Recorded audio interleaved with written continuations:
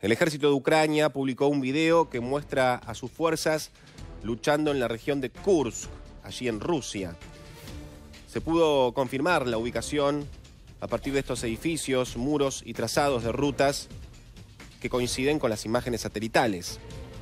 Recordemos que el viernes pasado, durante una conferencia de prensa con el presidente ucraniano Zelensky, el jefe del ejército ucraniano, Oleksandr Sirsky, informó que se estaban produciendo combates en la zona de Malaya Longia, a unos 11 kilómetros de la frontera ucraniana.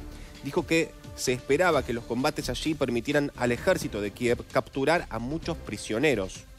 Las tropas de Kiev capturaron franjas de territorio y soldados rusos para intercambiarlos por prisioneros de guerra ucranianos, un impulso moral muy necesario para un ejército que no ha logrado avances significativos en su propio suelo desde fines de 2022.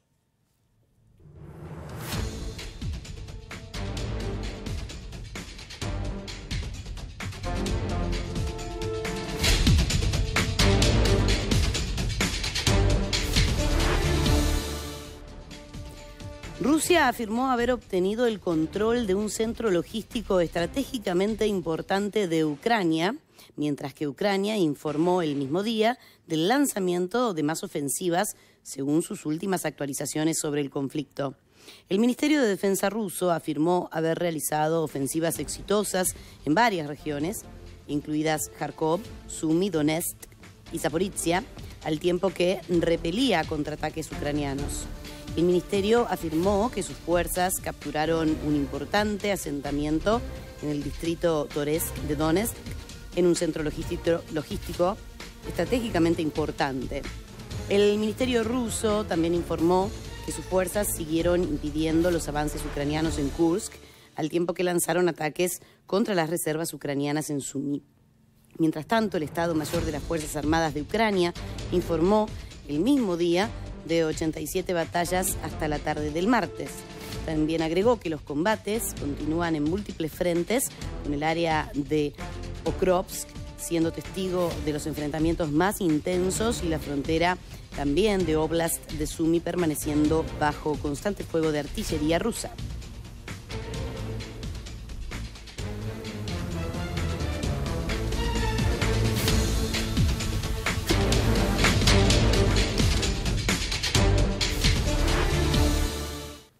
Estados Unidos le reprochó a Ucrania no haber informado sobre los ataques en Kursk.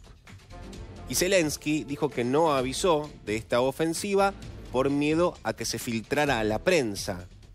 Ante el empeño del Pentágono por dirigir la guerra, Ucrania decidió optar en Kursk por los hechos consumados. El resultado ha sido un éxito inesperado. Zelensky confirmó ante la prensa que la ofensiva de Kursk no había sido consultada con ninguno de sus aliados.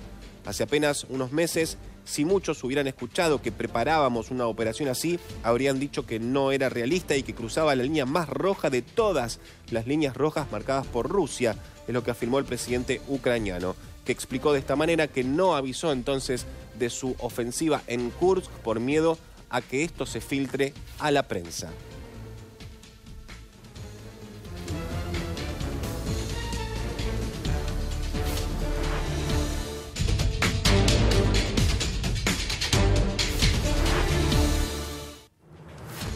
El presidente de Ucrania, Volodymyr Zelensky, aseguró que las tropas ucranianas lograron tomar bajo control algo más de 1.200 kilómetros cuadrados y hasta 92 localidades en la región rusa de Kursk, escenario de una operación de las Fuerzas Armadas cuyo objetivo es el de crear una zona de contención.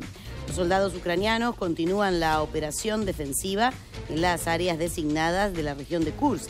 Al día de hoy, Nuestras fuerzas controlan más de 1.250 kilómetros cuadrados de territorio enemigo y 92 asentamientos. Seguimos fortaleciendo nuestras posiciones. Esto es lo que manifestó Zelensky ante jefes diplomáticos de Kiev. Así el mandatario ucraniano también recalcó que esta ofensiva sobre territorio ruso representa la mayor invasión de Kiev para la futura liberación de prisioneros de guerra bajo custodia rusa.